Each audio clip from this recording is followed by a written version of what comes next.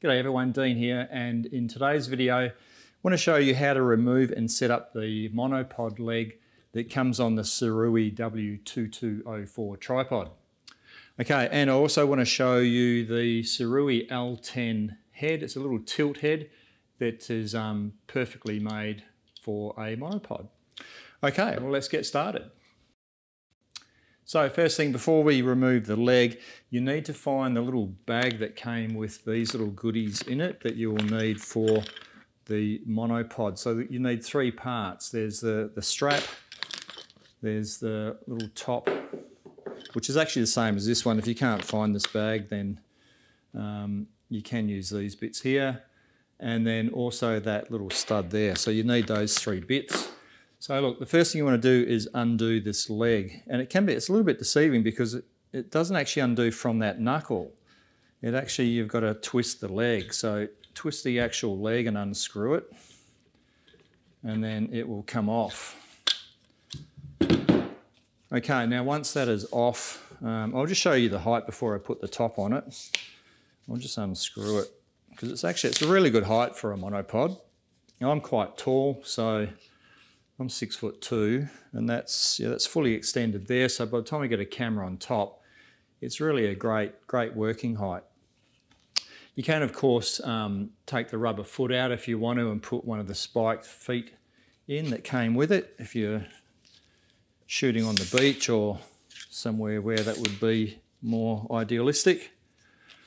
Okay, now to get this all set up, I'll show you how to do it. Um, we've got to do it in the right sequence. So the first part you want is the strap, just sit that on the top there. And then the second part will be that top plate. And then this screw, you need to put it, um, it will go in either direction. It's a 3 8 thread on one end and then a quarter inch thread on, on the other end. The smaller thread you would use if you were putting a camera straight into it. So if you were putting this um, setting this up and putting a camera straight on with no ball head or no tilt head, then most cameras are that quarter inch thread, so you want that facing upwards. We're going to be putting a head on it, so we turn that around the other way, and then we just start screwing that down. And once that thread takes, we just lock down the larger top plate, and that is now on, ready to go, ready to accept a head. Now, if you don't have one of these, and I would only suggest buying one of these if you use the monopod a lot. They are very good. But you can easily get away with using a ball head. So if you had a ball head on that, you can simply take that off and then it will screw straight onto here. And there is, of course, your two little grub screws on here, which are also part of, um, they feature on this as well. So these little grub screws you would nip down with an Allen key and that just stops the head loosening off.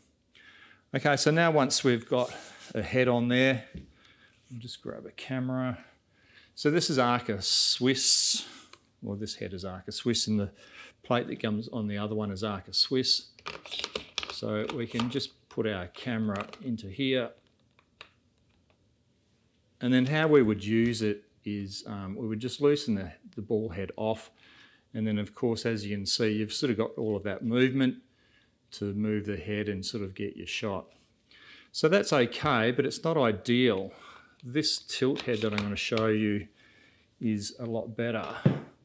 So we'll just take this head off. So this tilt head is an L10 made again by Sirui.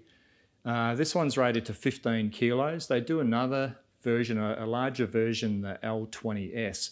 It's rated to 25 kilos and it also has a panning base on the bottom. This one doesn't have a panning base, but in all honesty, I don't really think you need the panning base because I prefer with a monopod to pan that way. Just sort of, if, you, if you're panning, you can just simply turn that way instead of relying on a knob.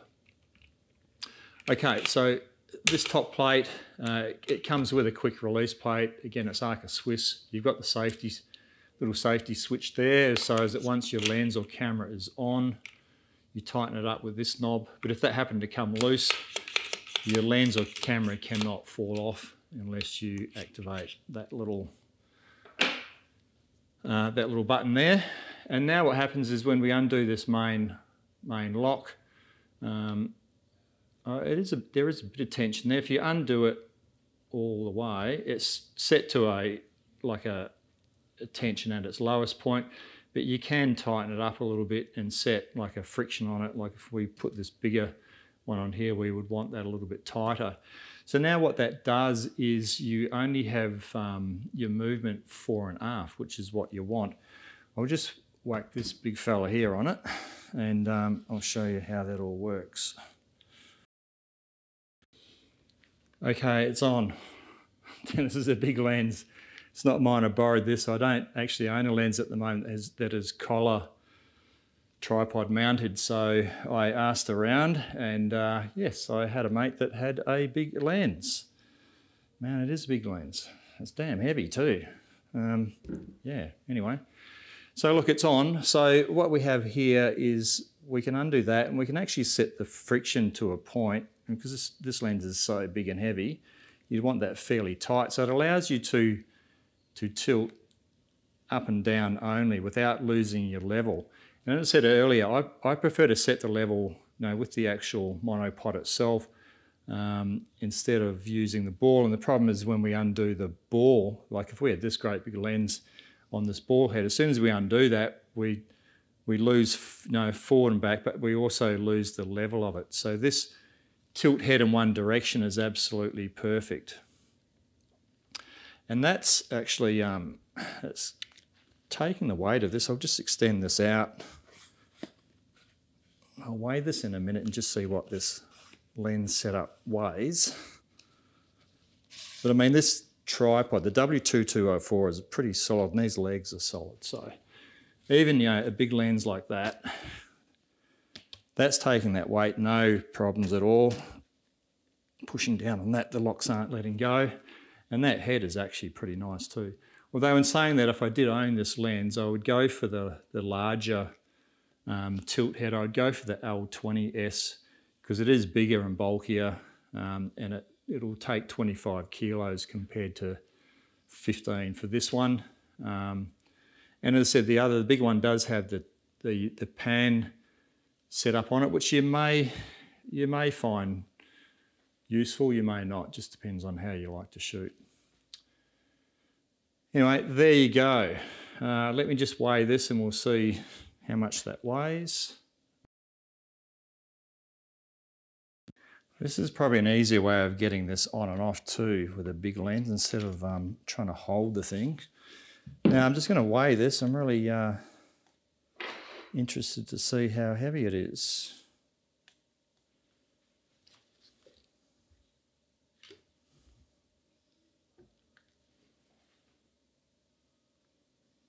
Four point seven kilos, so that's pretty heavy.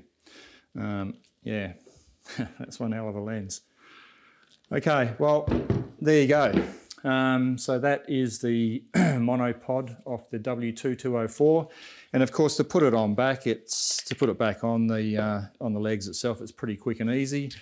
It's just unscrewing that, take that off, back on here, and you are good to go. So as you can see, it really takes less than a minute to um, to swap that over. There you go. Hope you enjoyed that. Uh, I'll leave a link below if you wanted to purchase one of these. Um, I'm a Sirui agent here in Australia, so I'll link, leave a link if you want to buy one of those um, here in Australia. And if you've got any questions, just drop a comment and I'll get straight back to you. Thank you so much for watching and I'll catch you in the next video. Ciao.